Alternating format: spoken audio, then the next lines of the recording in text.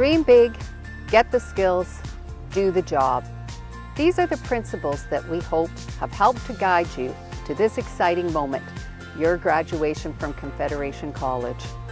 We at Confederation College are beyond proud of all that you have achieved. This year in particular, your resilience has been tested as you work to complete the final weeks of your program.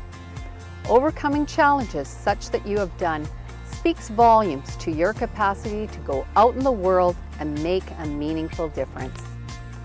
Your impact will be a lasting one, and we are honored to have played a role in helping you create it.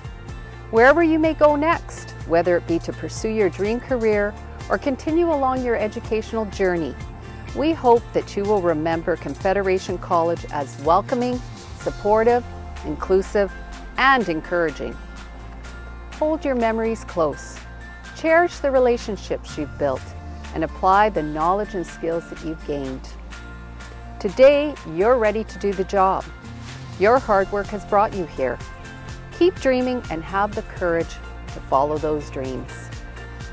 An inspirational quote I personally appreciate and that I'd like to offer as inspiration to you is from T.S. Eliot, who said, Only those who risk going too far can possibly find out how far it is possible to go. You have the ability to make the impossible possible. Walk boldly into your future, and as you do, know that Confederation College will be here to cheer you on and will always be here to support you.